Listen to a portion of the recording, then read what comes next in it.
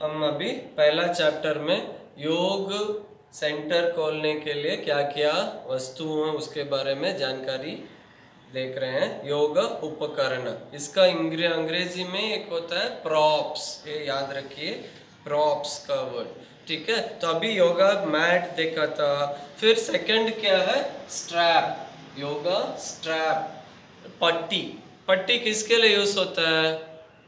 हम जब योगा करते हैं तो बहुत सारे लोगों को पूरा फ्लेक्सिबल नहीं होता है बॉडी फॉर एग्ज़ाम्पल आप ऐसे ही अब नीचे देख रहे हो, यहाँ इतना ही आता है पाद हस्तासन करते हैं, सब लोगों को इतना ही आता है. तो क्या कर सकते हैं?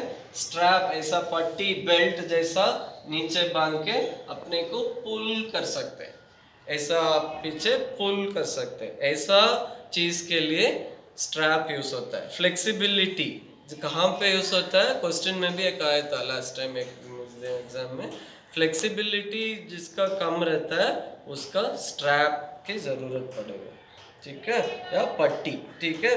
और दो, तीसरा है ब्लॉक ब्लॉक किसके लिए यूज़ होता है? फॉर एग्ज़ाम्पल कुछ सपोर्ट चाहिए। अब जब हम फॉर एग्ज़ाम्पल हम पीछे ऐसे ही जा रहे हैं बैठ के पीछे ऐसे जा रहे हैं तो यहाँ पे बहुत सारी स्ट्रेस आता है हमारे ऊपर। सो तब कुछ लोगों को प्रॉब्लम हो सकता है। इसके लिए एक ब्लॉक जैसा, ऐसा एक चीज़ यहाँ पीछे रख के, ऐसा पीछे गया तो तब यूज़ होता है ब्लॉक ऐसे ही एक और चीज़ है बोल्स्टर बोलता है। योगा, गोल तकिया। तकिया पता है, इतना बड़ा ऐसा होता है। ऐसे ही चीज़ के लिए जब हम पीछे जा रहे हैं या आगे जा रहे हैं, जब हमारे सिर्फ़ नीचे नहीं झुक रहा है, न सिर, ज़मीन को नहीं छू रहा है। ऐसा है तो आप ऐसा बड़ा सा बोल्स्टर या तकिया आगे रख सकते हो और पीछे रख सकते हो।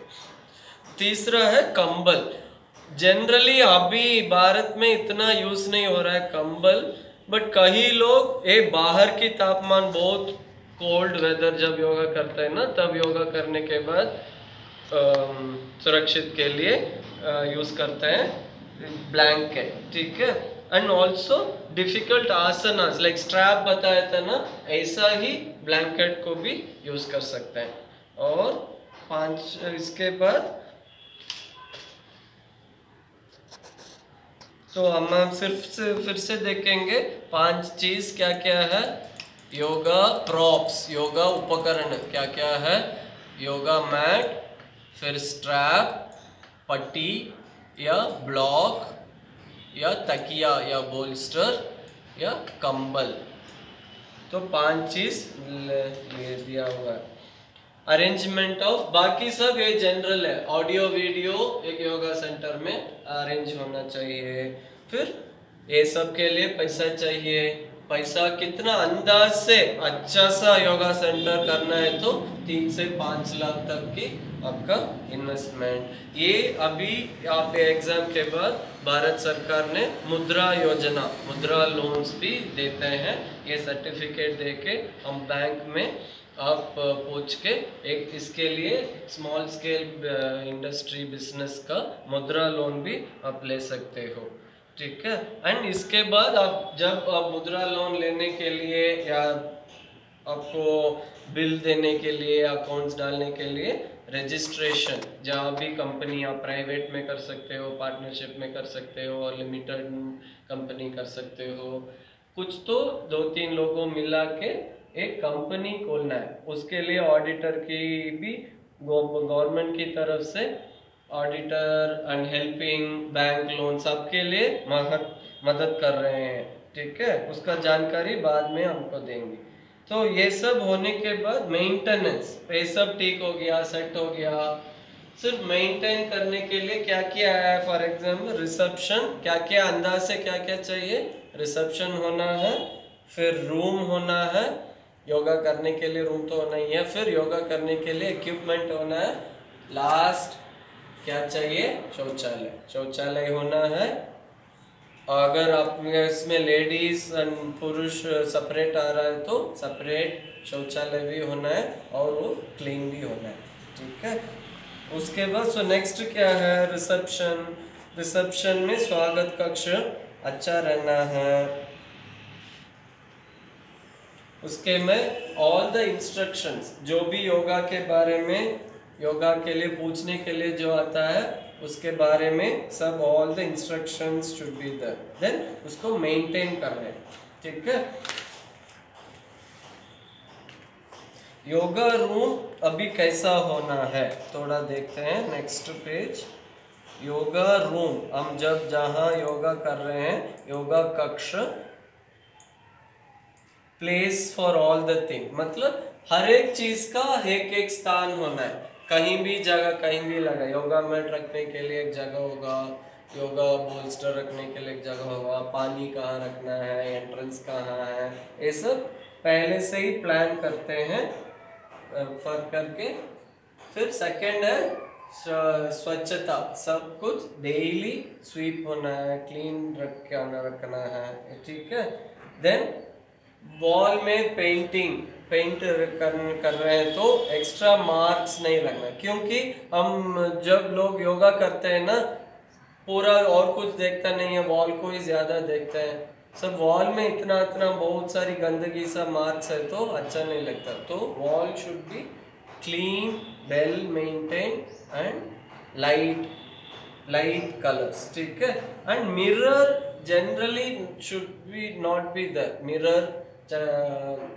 चाहिए तो है तो एक रख सकते हो, दो रख सकते हो, और वो भी क्लीन रहना है, ठीक है?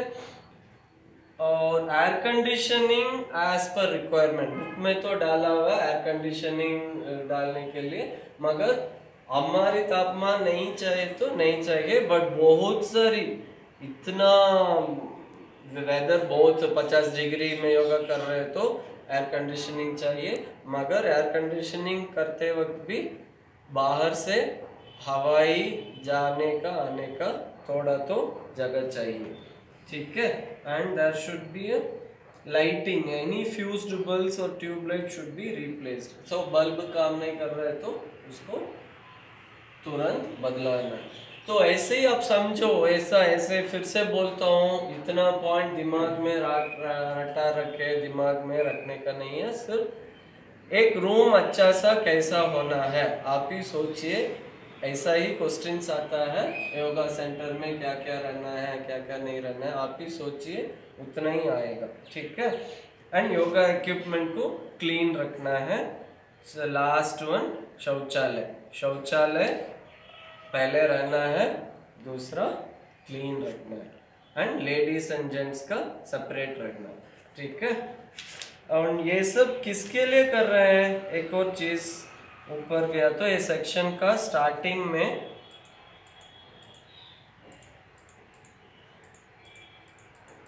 स्टार्टिंग में हम देखेंगे तो ये इंडस्ट्री कितना बड़ा है। ये सब ये क्या है? योगा सेंटर इतना चार पाँच लाख खर्च करके हमको करना है क्या? ऐसा इतना बड़ा सेंटर है क्या? मैं बोलता हूँ चाहिए। क्योंकि ये बिज़नेस जैसा हम कर रहे हैं। ये बिज़नेस कितना बड़ा है पता है? भारत में प्रति साल beauty and wellness sector yoga comes under beauty and wellness sector beauty and wellness sector का लास्ट ईयर में कितना था? Three six hundred and fifty six billion rupees and beauty and wellness मतलब सभी लोग मसाज स्पा फेशियल योगा सब मिला के एंड एक और अच्छा सा चीज़ क्या पता है? इस ट्वेंटी परसेंट पर ईयर हर एक साल में बीस प्रतिशत इसकी गुना ही होता है। सब लोगों को योगा करने का मौका भी चाहिए और उसके लिए इंस्ट्रक्टर भी चाहिए। उसी के लिए ये सब हम कर रहे हैं।